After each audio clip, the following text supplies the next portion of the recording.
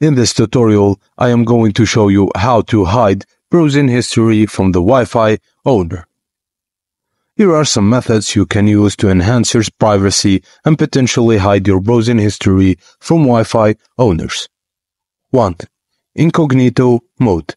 While it doesn't completely hide your browsing history, incognito mode prevents the browser from storing cookies and site data on your device.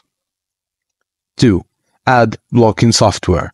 While it doesn't hide your browsing history, ad blocking software can prevent ads from tracking your access to website. 3. Clear cookies after every browsing session. Regularly clearing cookies can prevent other users on the same network from seeing the website data. 4. Turn off location services. Disabling location services on your browser can prevent websites from knowing your physical location, but it doesn't hide your browsing history from the Wi-Fi owner. 5.